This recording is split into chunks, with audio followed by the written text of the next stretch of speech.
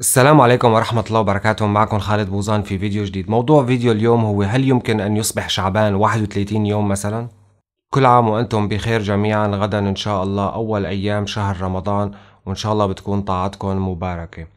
طبعا انتشرت اليوم بعض الفيديوهات اللي عم تتحدث إنه سيتم اليوم مساء تحري الهلال هلال شهر رمضان.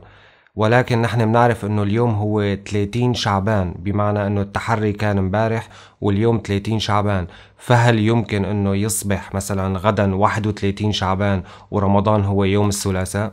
تحدثوا بعض الناس إنه عندهم علاقات واسعة مع المنظمات الإسلامية في ألمانيا وفي أوروبا يعني وإنه سيقوموا يعني بإختاره اليوم ليلا ومساء يعني إن كان غدا رمضان أم لا يعني أنا ما فهمت الموضوع بالضبط كيف يعني بس أنا حسب يعني فهمي وأنا لست عالم دين يعني ولا خبير في الشريعة الإسلامية ولكن أنا ما بذكر ولا في يوم من الأيام إنه شعبان صار 31 يوم أو إني صمت رمضان 31 يوم.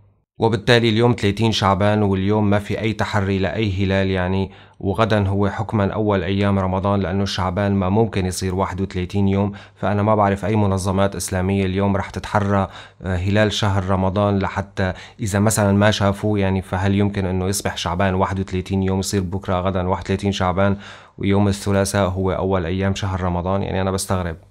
وهيك بتكون سقطت آخر أوراق التوت يعني عن هالقنوات يعني اللي عم تدعي فهمها وعلاقاتها الواسعة يعني في ألمانيا ومع المنظمات الإسلامية ومع الحكومة الألمانية ومع عدد كبير من المحامين والقضاة. الحكي اللي بنسمعه بشكل متكرر يعني يبدو أنه ليس له أي أساس من الصحة.